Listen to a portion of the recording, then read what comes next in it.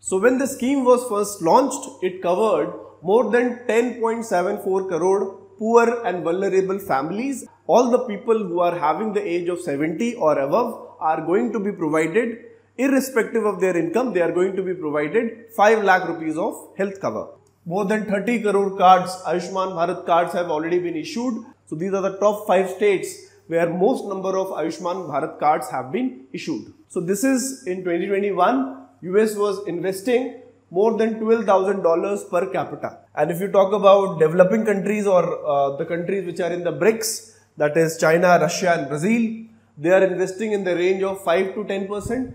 So according to the National Health Policy of 2017, the target which was given to the government of India was spending of 2.5% of GDP on public health by 2025.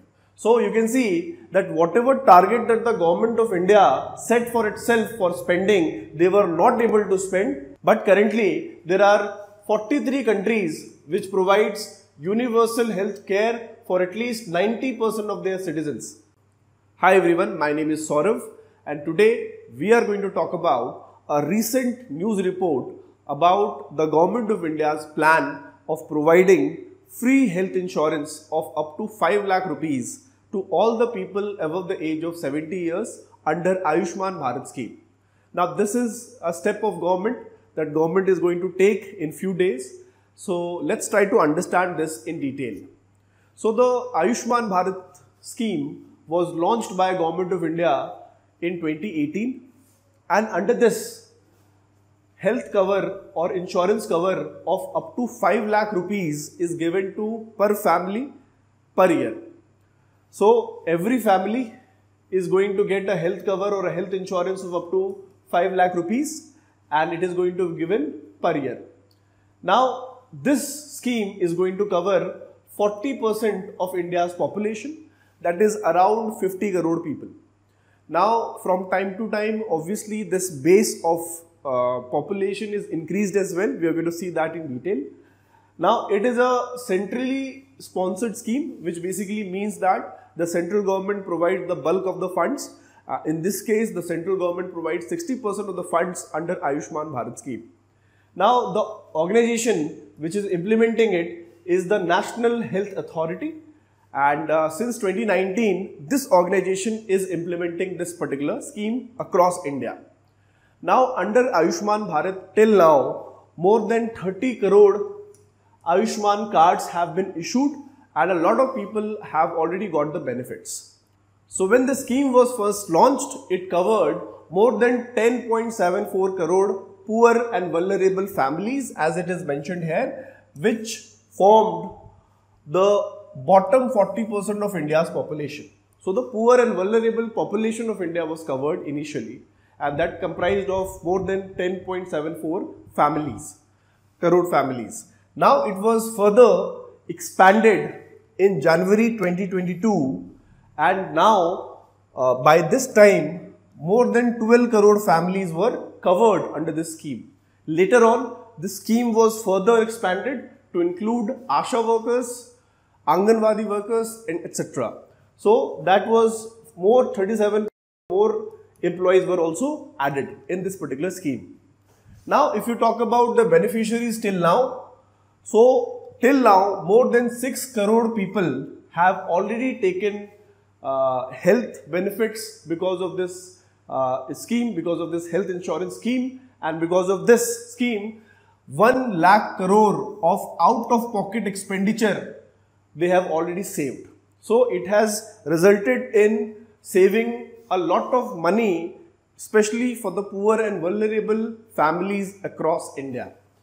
So as I said in the beginning, the government of India is now planning to expand the range of this particular scheme and all the people who are having the age of 70 or above are going to be provided irrespective of their income, they are going to be provided 5 lakh rupees of health cover under this scheme. Now, the people who are already, the families who are already having 5 lakh rupees of cover under Ayushman Bharat scheme and if they are having a senior citizen, then 5 lakh additional top up will be given to them. So, the total health insurance cover for that family will be 10 lakh rupees. Now this can also be availed by those people or the private employees who are having private insurance like ICICI, HDFC and also the government employees of state, uh, government companies, banks who are given uh, insurance from their own company. So those people are also eligible to get the benefits under this scheme.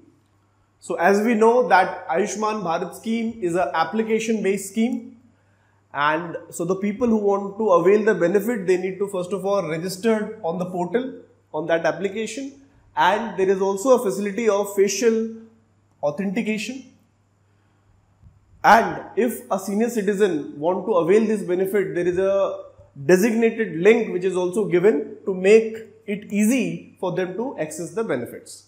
Now since you know that Ayushman Bharat scheme is a centrally sponsored scheme, so that means that central government provides 60% of the funds. So again in this initiative as well, the central government is going to provide 60% of the fund and rest will be provided by the state government. Now the central government is also providing flexibility to the state government to modify the scheme in order to include other age groups as well as it is deemed fit by the state governments. Now let's talk about the new features of this particular scheme.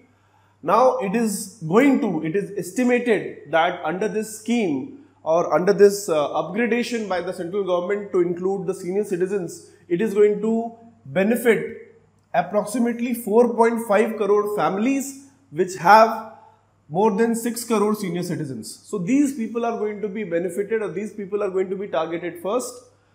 And as we know that 5 lakh rupees of free health insurance will be given on a family basis. And a new distinct card will be issued. So it is not going to be availed by people on the already uh, given cards.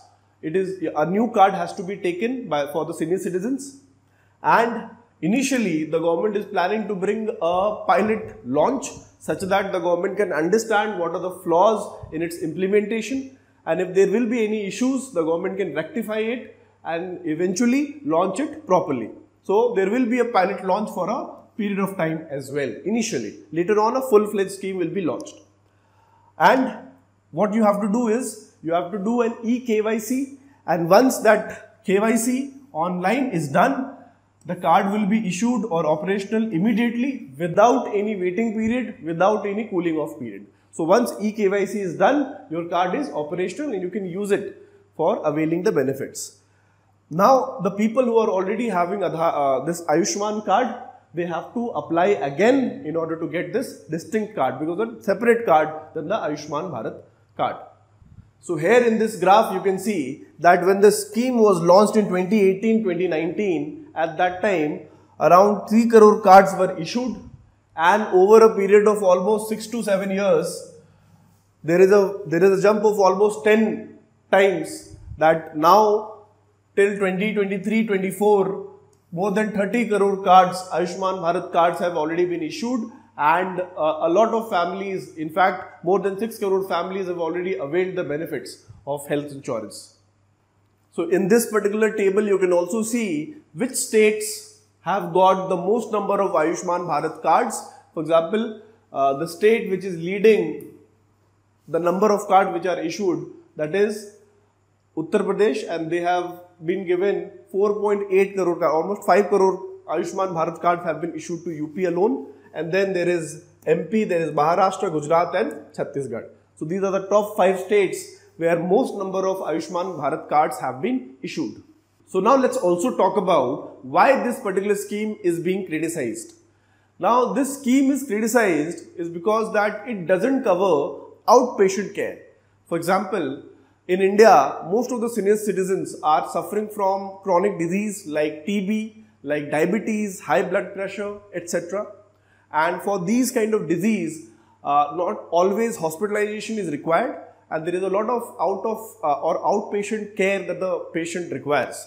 And that's why there is a lot of cost of outpatient care a lot of diagnostic cost like tests different kind of tests are uh, uh, conducted. And also a lot of medicinal costs are also there which are not covered under Ayushman Bharat scheme. Although the government provides subsidized medicines as well but still under the scheme these are not covered and which forms almost 40 to 80% of the medical cost of senior citizens. So if you are providing healthcare benefits or health cover of 5 lakh rupees, which basically requires hospitalization, then in that case, uh, these expenditures are not covered under that scheme. So the government also has to look or have to make sure that these expenditures are covered under certain schemes. Apart from that, there is also one criticism that is there is a low penetration of this particular scheme into the smaller cities and towns. So it is mostly used and availed in the big cities and in small towns and small cities, they still not availed by a lot of people, either by lack of awareness or, uh, or due to corruption or other issues. So globally, there are two kinds of models in the health insurance which are followed. So a country can adopt either the USA based model or a model that is Thailand model. Now both these models are different in nature where one model is particularly favored by European countries or Western countries in general and the other kind of model is the Thailand model which is uh, good for developing countries. Now, uh, but it is said that India is actually going toward the US way. I will tell you the difference between the two models. So USA based model basically requires that people contribute, they invest, they buy health insurance, eventually health insurance is given to everyone. On the other hand, in Thailand based model, the government focuses on the primary health care, especially in the rural areas where most of the populations are living, such that there is less requirement or all the issues are dealt at the primary healthcare level as well. So less hospitalization is required and eventually there will be less spending. So this is a very cost effective kind of a method and this requires heavy investment by the government and the people. Now I am going to tell you what is the major difference between the two. If you basically talk, if you see this chart where it is shown that the US is a country which spend one of the highest per capita expenditure on healthcare by any country and that is almost more than $12,000 per capita on per person every year. So this is in 2021, US was investing more than $12,000 per capita, which a lot of country obviously cannot afford. And most of the Western countries, because of their economic power, they are able to afford. So you will see most of these countries are Western countries only. On the other hand, in Thailand, Thailand, in spite of not having that economic power, they have worked a lot on their primary health care and because of that uh, the roots have strengthened and they require less hospitalization ultimately reducing the government cost. And in Thailand there are multiple levels of insurance are also given ultimately achieving universal health coverage. So now if you talk about uh, the spending of different countries as percentage of their GDP then you can see this graph that most of the western countries they're investing more than 10% of their GDP on health and that's why they have a better healthcare system as well. And if you talk about developing countries or uh, the countries which are in the BRICS, that is China, Russia and Brazil, they are investing in the range of 5 to 10% and then there are countries which are investing less than 5% as well, which includes India as well. So that shows different levels of health spending as a part of their GDP by different countries and by that logic or by that parameter India is on the lower side of spending. Now let's talk about one more thing and that is the National Health Policy of 2017. So according to the National Health Policy of 2017, the target which was given to the government of India was spending of 2.5% of GDP on public health by 2025. So it recommended that the government of India should invest at least 2.5% of GDP on public health. And later on, the National Health Mission, National Health Mission also talked about, they basically gave a roadmap of how to increase the expenditure by the government from 1.4% to 2.5% of GDP by 2025. So both these missions, they talked about increasing the government expenditure on health and increase it to 2.5% of GDP. And it is good to know that we have been able to achieve that target and we have been able to achieve the target of spending of 2.5% of GDP on health.